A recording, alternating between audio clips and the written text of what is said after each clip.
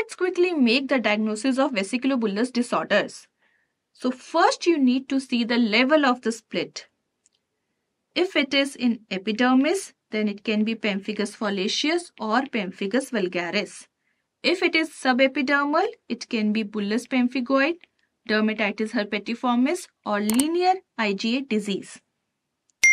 Type of bulla in epidermal is flaccid and in subepidermal it is tense.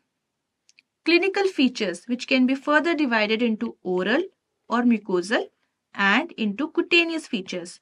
Oral involvement is present in 90 to 100% cases of pemphigus vulgaris, 30% cases of bullous pemphigoid, absent in dermatitis herpetiformis and pemphigus foliaceus, and in linear IgA disease, there can be oral involvement.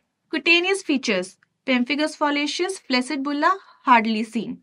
Pemphigus vulgaris, flaccid bulla with crusted erosions and no tendency to heal. Bullous pemphigoid, dermatitis herpetiformis and linear IgA. All subepidermal, they present with pruritus.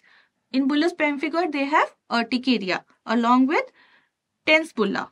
Then distribution of pemphigus foliaceus is in seborrheic areas and may also end up in erythroderma. Pemphigus vulgaris and bullous pemphigoid can be present over trunk, upper and lower limbs, mostly in the flexures. Whereas dermatitis herpetiformis is mostly seen in extensors. And linear IgA disease, again over extensors and over face and buttocks.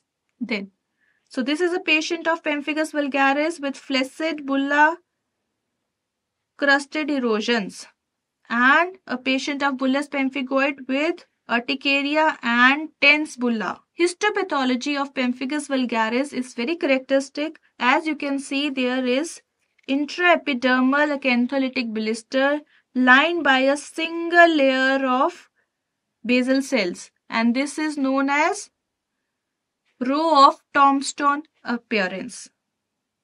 Then characteristic DIF findings. So intraepidermal IgG deposition in pemphigus vulgaris leading to fishnet pattern this is bullous pemphigoid IgG and linear IgA disease IgA deposition.